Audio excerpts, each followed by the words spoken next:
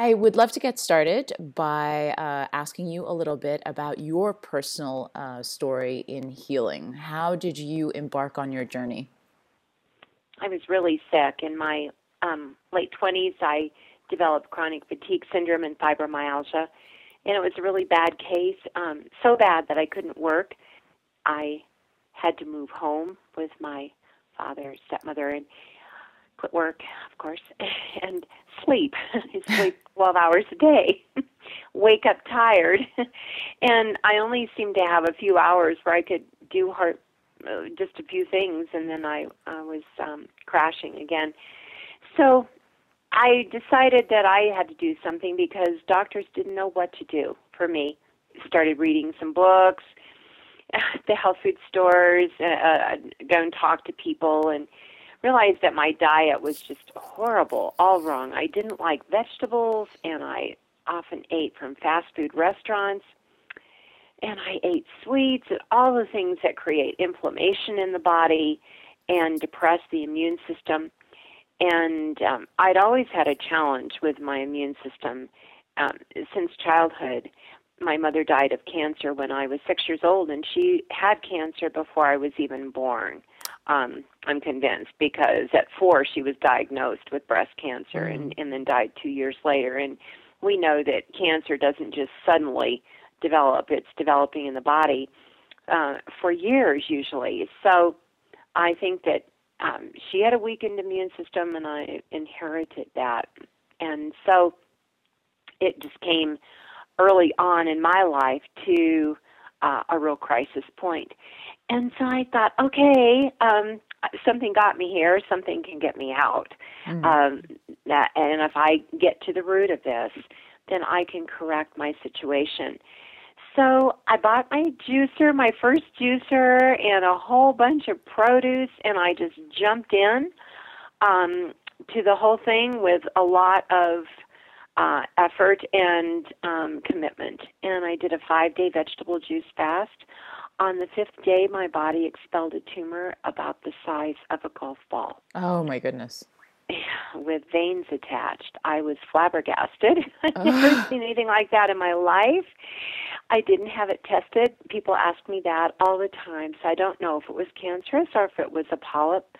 I am certain, though, whatever it was, it was not good, and I was not heading in a good direction. If it was a polyp, I'm quite certain that it would mm. have cancerous. Either way, it's incredible. It's incredible. And so I thought, okay, my health is going to turn right around now. But no, it didn't. Um, I got a little worse before I got better. I was detoxing, mm. and I didn't know anything about detox reactions. But some something in my soul just said, You're on the right track and don't leave this. Even though my dad kept saying, because he'd see these symptoms and I seemed to be getting worse, he said, I think you're killing yourself with this diet. And I said, Well, if I do, then I'm going to die on carrot juice because um, I am committed to this program and it just seems right to me. How could how could vegetable juices and vegetables be wrong, you know? So Absolutely. I stuck with it for three months with ups and downs, and many days were downs where toxicity was really coming out, all this stuff that was stored up in my liver and tissue spaces and cells. But one day I woke up and I thought, wow, somebody gave me a new body in the middle of the night. I felt absolutely fabulous like jogging and prior to that i i hadn't even been able to walk around the block because i was afraid i'd pass out somewhere wow. um i was just that weak and tired so i moved back then to california back to my life my friends uh work and um slowly started going back to some of my old habits and then my symptoms started showing up again which really scared me because it's just chronic fatigue is nasty stuff. Absolutely. I felt like I had the flu all the time. Mm. You know, kind of feverish and uh weak and swollen glands mm. and like I had the flu all right. of the time. It's just nasty stuff. And I that really scared me because once um you taste health and what it is to feel really alive, you never want to lose that. So I thought, okay, this wasn't a cure. This has to be a way of life and I've got to find a plan I can live with. and I've had ups and downs through the years, times where I thought, oh, well, I can just eat a little of this, you know. and I've realized I can't. I just can't cheat. I have one of those systems that it seems to be very, very sensitive. Mm. So I've had to stick with uh, a really good diet. And people often say to me um, how terrified they are of of making the changes and like they'll never be able to enjoy life or have fun again or uh, go to a party. Just the opposite. And, yeah, and I say it's not true. Um, I live a full life and I uh, travel a lot and I, I'm on the go all the time and I find things to eat and I do have fun. And so you, people can do it and change their lives too. Absolutely. I your story is is is very inspiring. I mean, I hear a lot of inspiring stories. I, I look for them, I rejoice in them, and and I embrace them. But I have to say, what you've been through sounds remarkably similar to what people with my condition goes through. Um, go through uh, with histamine intolerance, mast cell activation, mastocytosis, systemic mastocytosis.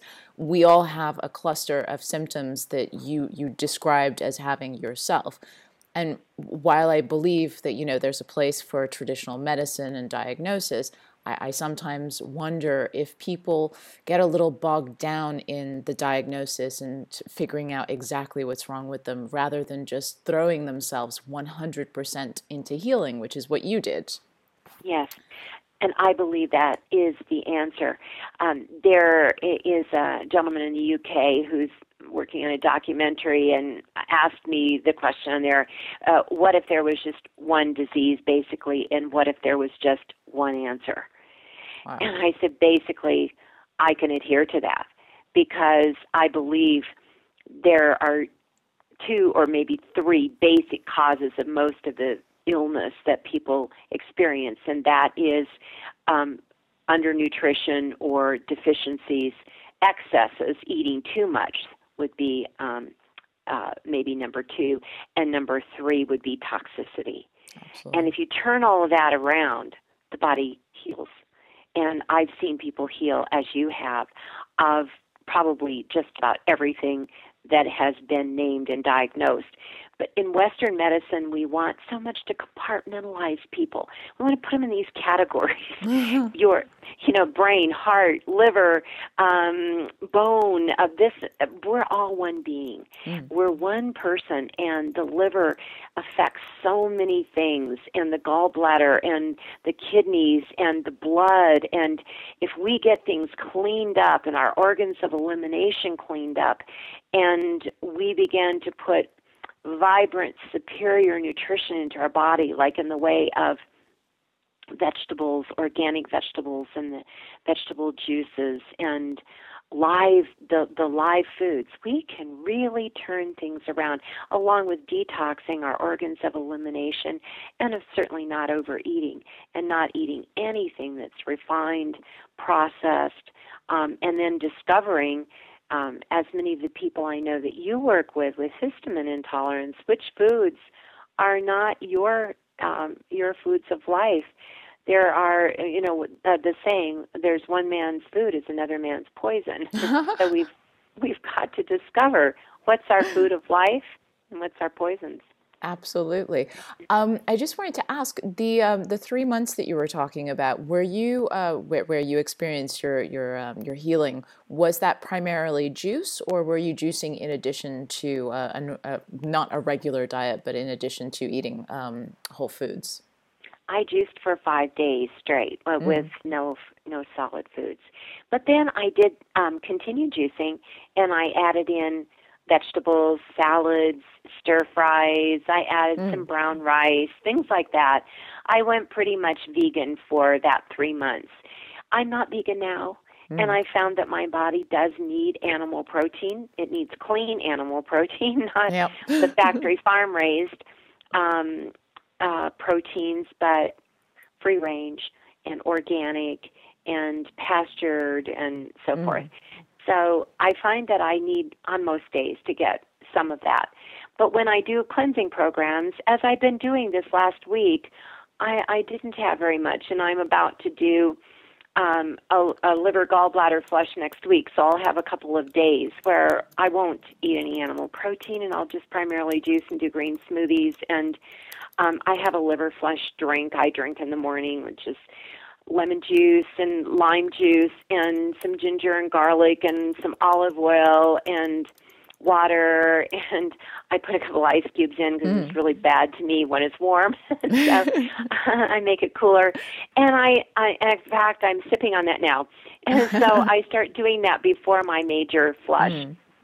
Just starting to prepare my liver and gallbladder for um, the major flush coming, and then I'll do a couple of days of just liquid and pureed things. Mm. It's winter; it's very cold here, so I'll do some pureed warm soups and um, green smoothies and lots of juices and herbal teas and water and my liver flush drink in the morning, and then I'll do the major flush of the olive oil and grapefruit juice, or you can use lemon or apple juice with that. And so um, I have days of cleansing and then days of building. And it, it all fits into a rhythm of life hmm. where, you know, it's keeping the body cleaned out and healthy and strong. Sounds amazing. Sounds deliciously amazing and very similar mm-hmm. to what I do, which is why I love your work. Um, oh, thank you. Hugely inspiring. Um, in your opinion, what is better? I mean, I can probably guess given the, the name that you chose for yourself, but juicing or blending? What are the benefits of each and the drawbacks? Both have benefits. Um, juice, I really recommend because it's broken down so much that the body can absorb it very, very quickly. Mm. Uh, and it doesn't have the fiber in there as with a green smoothie, a lot of people have a lot of fiber in their green smoothies. Some people don't, depends on how you make them. But this juice, this pure live juice, is going to go right into your system very quickly and um, through your digestive system, which many people have impaired digestive systems today because mm-hmm. we've grown up on gluten and sweets and so many processed foods that really impact, negatively impact our gut, the entire digestive system. So um, people often are malnourished even though they're well fed mm. or overfed. Maybe I shouldn't say well fed, but overfed, but malnourished because they're not absorbing even what they eat. So the juices are going right in there. And I've found for myself and for many of the people that I work with, the juices bring about healing where nothing else does for them. But I make um, a green smoothie often, and that's my breakfast, by juicing first and then pouring the juice in my Vitamix, or you can use a blender, adding an avocado, and I add some supplemental things to that, mm-hmm. like some liquid iodine. And um, if I have some little baby greens or um, fine things that don't juice well, I'll add it there, like parsley or baby spinach. Those mm-hmm little um, greens don't juice very well, um, except in a cold pressed or masticating type of juicer. So uh, then I blend that up, and that's my breakfast on many days with um, some sunflower seeds on top, or ground almonds, or ground flax seeds.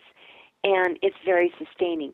But if you want to really um, begin to do some healing and really get the vibrancy, I call it, of the live food. There's nothing like the juice. Some people say to me they've been to um, one one of the stores like Costco or Sam's Club and seen a demonstration, and the people there tell them um, that a Vitamix uh, smoothie is a juice, and that you should have all that fiber. and and then they're trying to uh, crunch down or swallow a very fibrous concoction, mm. like with uh, some carrot fiber pulp, you would call it in there. Um, kale is pretty hardy, so it, it's going to be fibrous or kind of gritty. People are trying to choke this down or strain it out. That is not a juice. Mm. And um, there's nothing wrong with fiber. I'm all for fiber and for eating a high fiber diet. But that fiber is going to slow down your absorption of all of those wonderful nutrients that you want to get. If you're going to do a green smoothie like that, do some juice too, and do your juice first. you're throwing down a huge amount of fiber straight into your stomach with no chance for the body to get ready for it you know with with the chewing and the enzymes going yes yeah and the body's saying what is all of this this big blob of fiber that I don't know what to do with. Um, and in fact, even they say, you know, the the old adage, um, uh, chew chew your juice, right. even drink your food and chew your juice, so that we should we should keep things in our mouth for a while, mm-hmm. and so that they can begin the enzymes of our mouth even can begin to break food down as it goes into our system.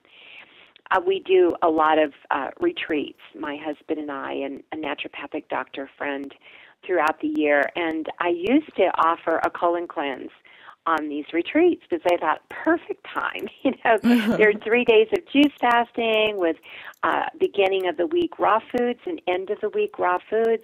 Great time to add in the colon cleanse and the fiber.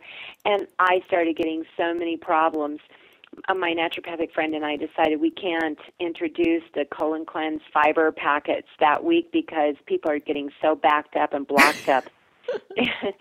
and they're just not ready for all of this fiber. So right. yes, you do have to work into that of a high, high amount of fiber. That's that's very good to know. Um, how long after juicing um, or blending should you choose to uh, should the uh, should your concoction be consumed? At what point does it start going off? Oh yes, where you start losing way too much of your nutrients. I, you know, I tell people though, be practical.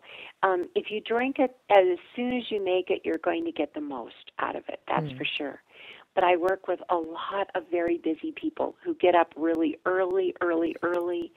Um, I've had police officers, you know, have early mornings. They're out in the squad car all day. What on earth do they do? People who are like up at 4:30 in the morning and they've got to catch a bus and and uh, you know they've got a really tough schedule.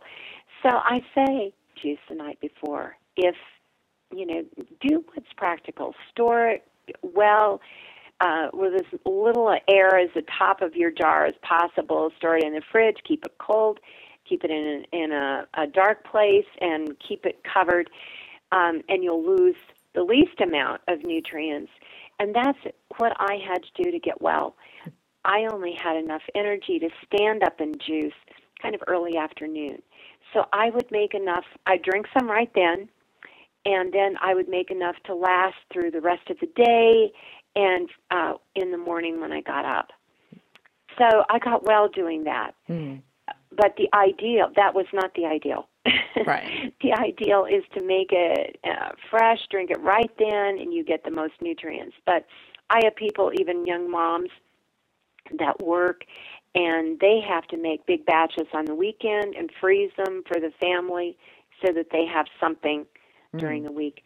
So I am also practical, and people come to me and say I can never juice because I have been told that there's nothing left in the juice after 30 minutes. Right.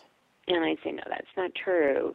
Um, if you heated it, that might be true. Right. Or if you just left it sitting on the counter and open to air or sun shining on it, um, but if you you know if you protect it, you're going to have some nutrients left in there for sure. You'll lose some, but you're still it's going to be better than anything else probably that you could drink.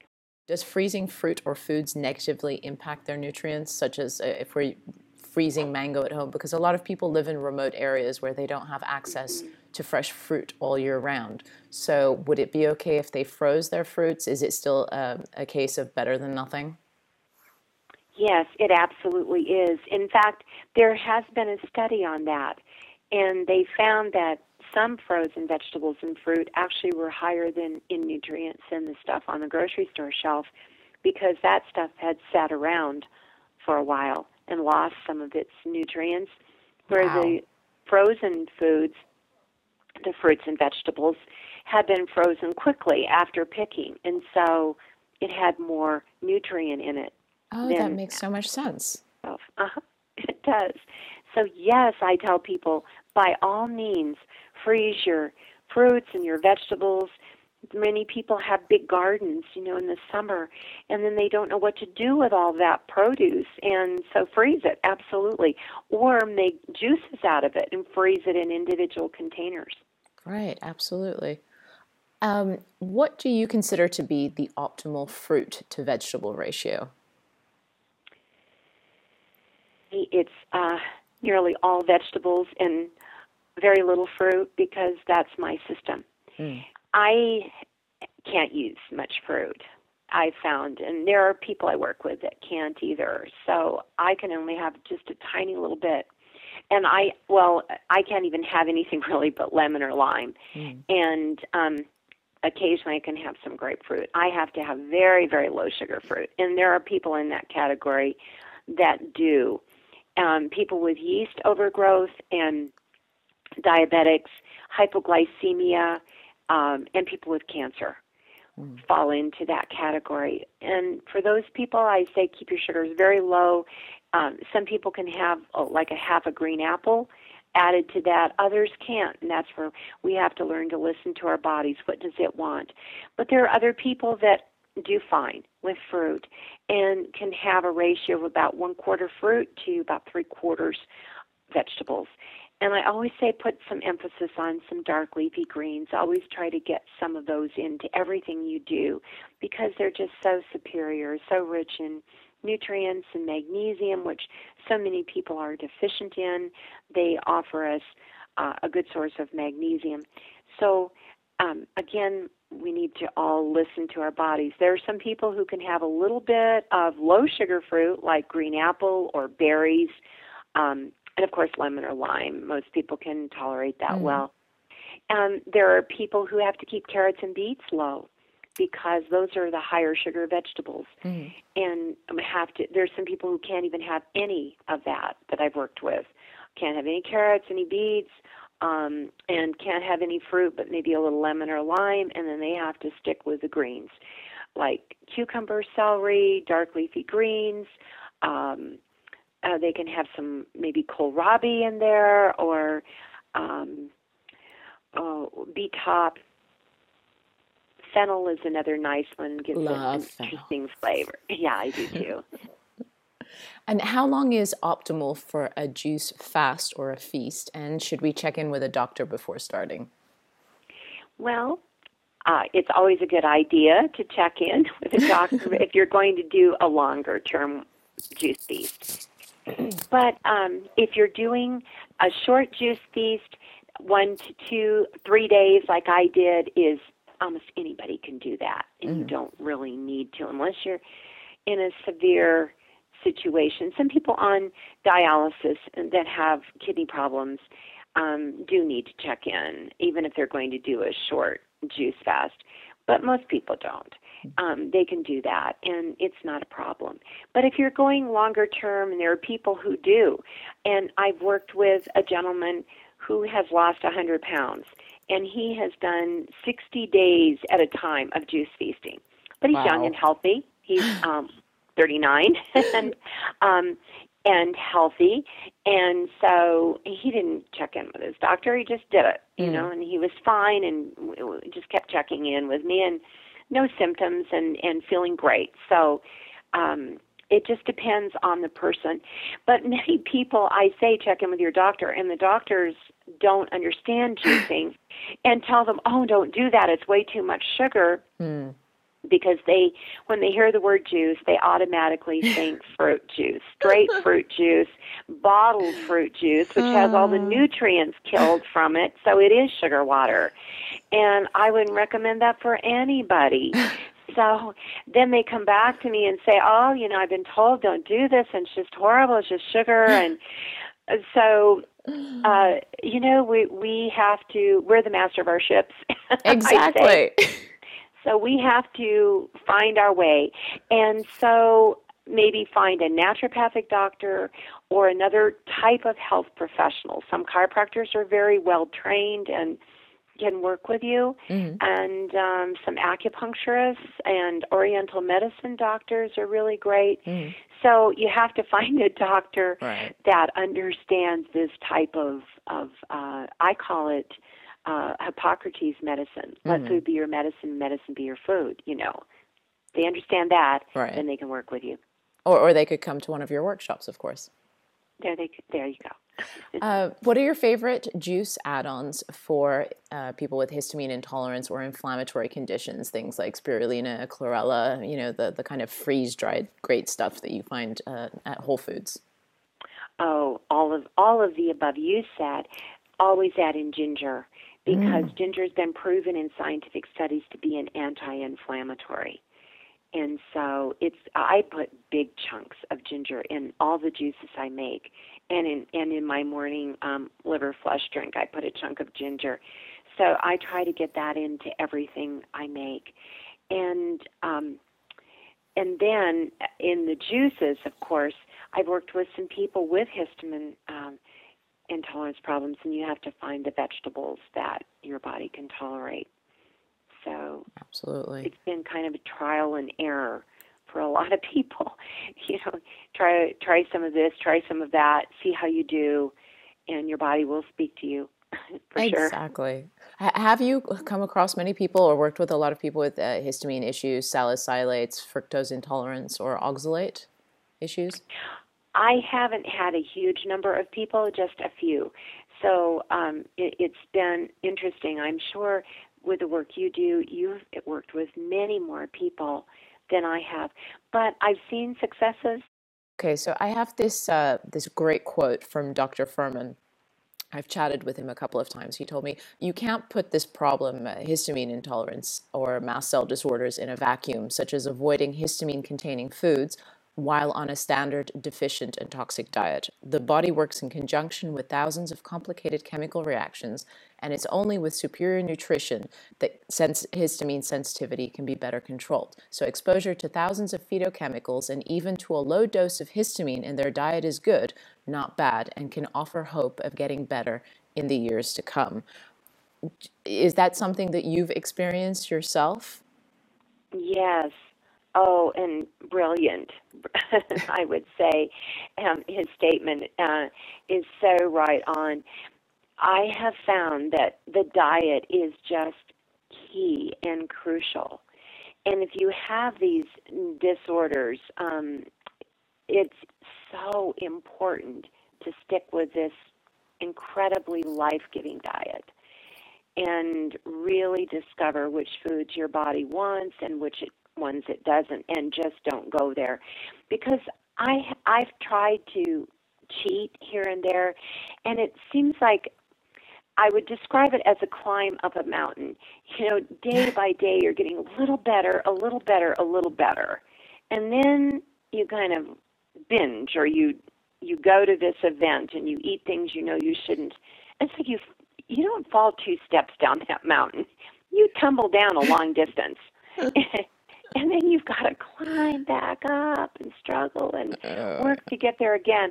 So I say to people, don't do it. It's just not worth it. You had maybe five or ten minutes of pleasure in your mouth, and then you have days and days or weeks of feeling crummy again. Right.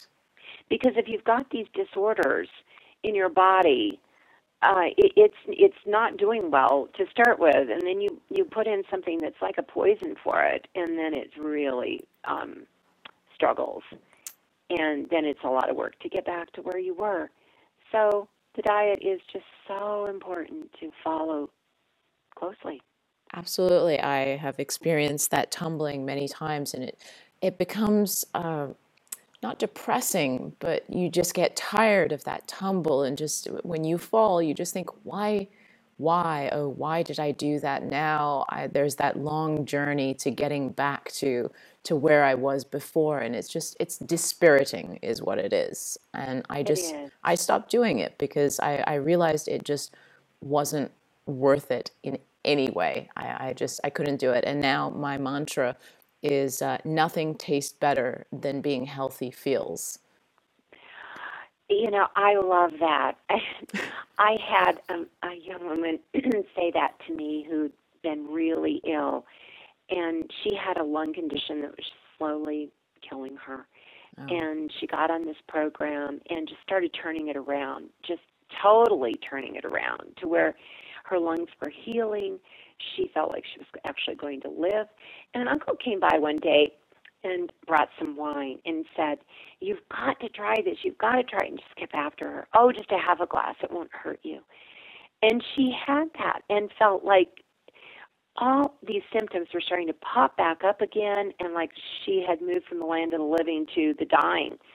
And she wrote to me and said, Nothing on earth tastes as good as good health. So you I put that on my website. You just nailed it. It is so true. um, and just to wrap things up, I'd love to have um, I'd love to get your opinion on the mind as a healing tool. Now, obviously, we, we know that we can make ourselves ill through stress, and we know that we can get better by paying ourselves some attention, by being good to ourselves. Could you please talk about your experiences in this? I love your question. The mind, the emotions are key. They may be one of the biggest keys. I don't know. when we do our retreats, my husband, who is a psychotherapist and trained in behavioral medicine, does a variety of classes. Whom I what is my purpose, how to de-stress, live from a happy heart, and mental and emotional uh, detox. And after the retreat ends, or at the end of the retreat, the comments as we go around the room the last night often goes to his classes as being the most important thing that happened for them all week. And we always just kind of smile because they have no idea that they're coming for that. And they always say that. You know, we thought we were coming for the the uh, raw foods, the juicing. We they found, you know, one of my books. I've got 21 books, so Juice Lady starts the title of most of them, and they they thought they were coming just for that, and discovered all of this other stuff that had been stuffed into their minds, stuffed into their emotions, that was making them ill. And so often we have found that a turning point is to find those things that uh, events, traumas, um, horrible situations in people's past things that they have held on to of resentments or bitterness or anger because of what had happened to them. And it all has to be let go of. Mm. And the purging of the soul, we have found, is either equal or more important to the cleansing and healing uh, foods for the body. And and then to live his class, living from a happy heart, living from that positive attitude, intercepting negative thoughts. We've had so many people that have become aware of that as they've gone through our week of, of of healing, cleansing, and renewal, and said, "Wow, I didn't ever realize that all these negative thoughts ran like a tape, like a movie in my mind." And I, uh, they'd say, I, "I suddenly realize it now. I'm intercepting it, and now I'm changing that tape." And I'm feeling like a new person and like I can live and like I can do this. And so it's just extremely, extremely important. And some often I found, in fact, nearly every person I've worked with who has a health challenge has had some difficulties in the past. Mm-hmm. Things that have happened to them that have been hurtful, painful, traumatic, abusive. Um, I've heard things that are horrific that have happened to people, and you wonder, how they're even still here.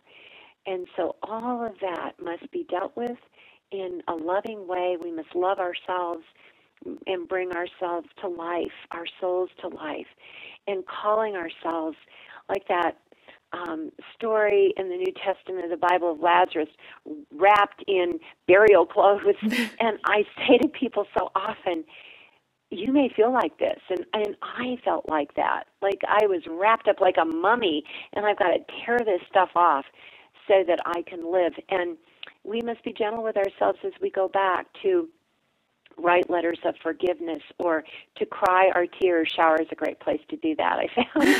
And, and to say this is peeling off of me like layers of an onion. Don't expect yourself in one day one setting uh, session whatever to be um, cleansed and cleared of all of this. It is a process and we go through it in stages and steps, and we have seasons of tears and seasons of joy, and seasons of peeling off those layers of the onion of of the the traumas that have happened in our lives, and it's all okay. Wherever we're at, the tears are wonderful. Um, the uh, facing of of the grief or the sorrow or whatever we face is all good and, and it's all bringing us to a place of wholeness. And so, in between those steps, try to live each day as we teach from a happy heart and, and choose each day to be, find things you're thankful for.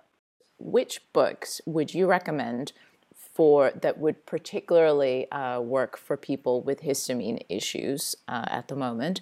And I would love to know where we can join your workshop and where we can find information. I assume it's on the website, but just let us know.